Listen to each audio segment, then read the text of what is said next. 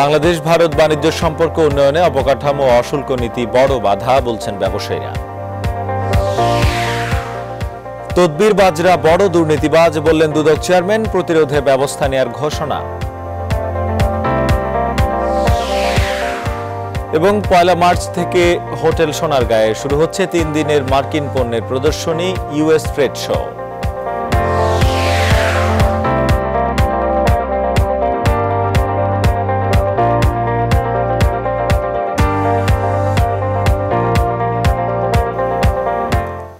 আমন্ত্রণ news twenty four বিজনেসের সঙ্গে আছি শেখ জায়েদ। দেখছিলেন ইসলামী ব্যাংক শিরোনাম। এবারে বিস্তারিত। বাণিজ্য সম্পর্ক উন্নয়নে দোষারোপের সংস্কৃতি থেকে বেরিয়ে বাংলাদেশ ও ভারতকে অবকাঠামোগত উন্নয়নের দিকে নজর দিতে হবে।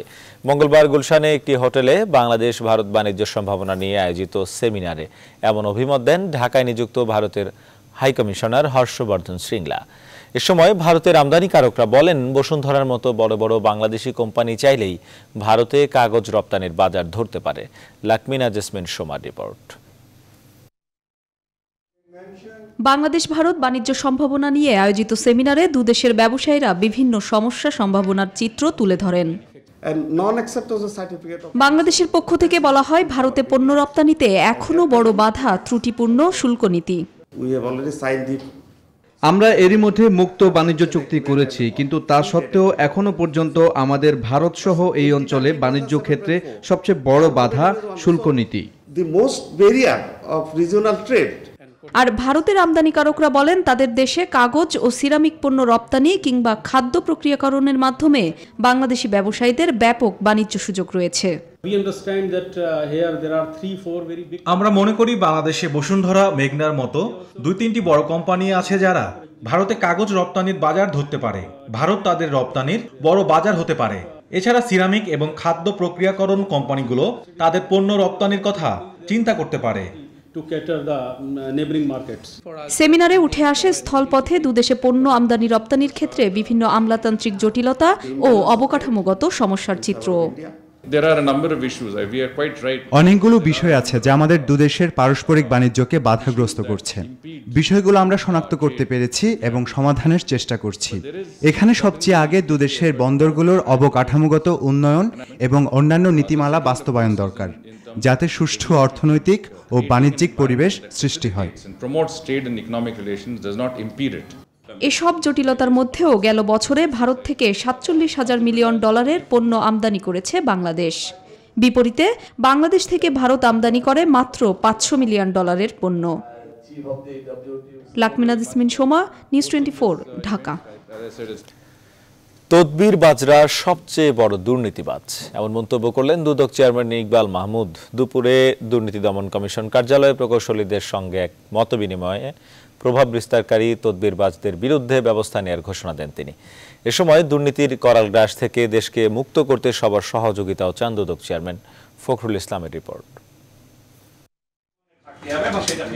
দুর্নীতি প্রতিরোধে সরকারের প্রকৌশলী সংশ্লিষ্ট দপ্তর ও সংস্থার কর্মকর্তাদের সাথে দুর্নীতি দমন কমিশনের এই বৈঠক হয়। এতে প্রকৌশল দপ্তরের উন্নয়নমূলক কর্মকাণ্ডে শৃঙ্খলা ফিরিয়ে আনা ও দপ্তরের দুর্নীতি ও অনিয়ম বন্ধে নানা কৌশল নিয়ে আলোচনা হয়। এ সময় সংশ্লিষ্ট দপ্তরগুলোতে তদবির ও দুর্নীতি ঠেকাতে মাস্টার প্ল্যান জরুরি বলে পরামর্শ দেন কর্মকর্তারা।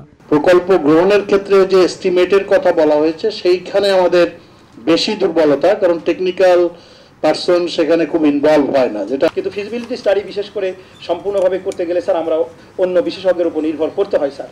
যার জন্য আমরা বাইরের বিশেষজ্ঞের উপর স্যার নির্ভর করি স্যার এটা। মানে মানে ইজিবি করেও আমরা আবার সাইডে রোধ করতে পারতেছি না। আলোচনা শেষে দুদক চেয়ারম্যান জনকল্যাণের কথা মাথায় রেখে প্রভাবমুক্ত হয়ে নির্ভয়ে কাজ করতে প্রকৌশলীদের প্রতি আহ্বান জানান। আমরা চাই প্রভাবমুক্তভাবে আপনারা কোনো সুপারিশ না শুনে সুপারিশ শোনা একটা বিরাট বড় দুর্নীতি আমার ধারণা। এবং তদবির না শুনে, তদবির বাজরা সবচেয়ে বড় দুর্নীতিবাজ। আমি আমার এক জায়গায় বলেছিলাম, এই তদবিরটা শুনবেন না ফর গডসে আপনারা যদি কোনো প্রভাবশালীর ব্যাপারে আপনাদের সমস্যা থাকে, আপনারা আওয়ার ডোর ইজ ওপেন দেশকে দুর্নীতির করল গ্রাস থেকে মুক্ত করতে তদবির তদবিরবাজদের বিরুদ্ধে কঠোর ব্যবস্থা নেওয়ার হুঁশিয়ারি দেন ইকবাল মাহমুদ। আপনাদের বক্তব্য থেকে এটি আমার কাছে প্রতীয়মান হয়েছে যে আপনারা মোটামুটি সবাই আইন কানুন মেনেই চলতে চান। জনগণের কল্যাণের দিকে চেয়েই কাজটা করবেন। আমরা মনে করি দুর্নীতি কমবে এবং দুর্নীতির এই করাল গ্রাস থেকে আমাদের মুক্ত হতে হবে। দুর্নীতিমুক্ত হয়ে নির্ভয়ে কাজ করলে প্রকৌশলীদের কোনো রকম হয়রানি হবে না বলেও জানান দুদক chairman. Fakhrul Islam news twenty Dhaka. News twenty four বিজনেসে বিরতি নিচ্ছি। ফিরছি একটু পর সাথে থাকুন।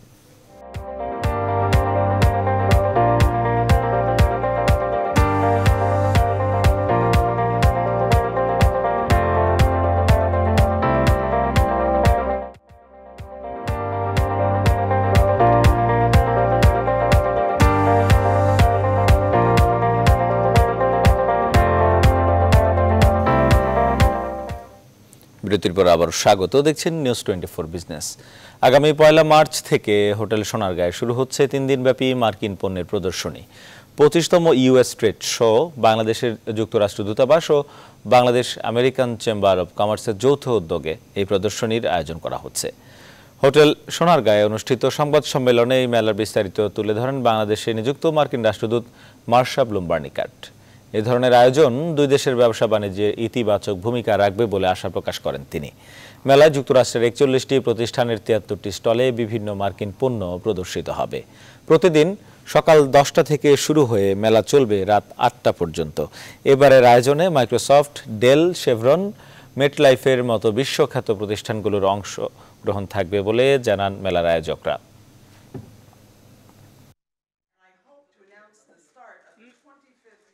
I look forward to touring the over 70 booths from nearly 40 U.S. companies and local agents and representatives, and I hope that members of the media, the business community, students, and government leaders and representatives join us from March 1st. শেষ করবো এখনকার news twenty four business তার আগে ইসলামী bank শিরোনামগুলো জানাচ্ছি আরেকবার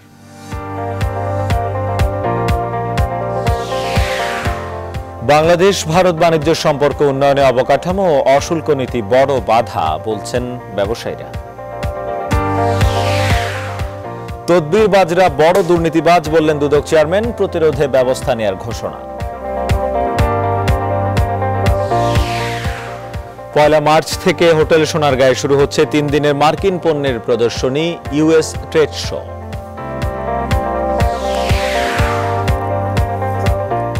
এই ছিল এখনকার নিউজ টোয়েন্টি ফোর বিজনেস এতক্ষণ সাথে থাকায় ধন্যবাদ সবাইকে।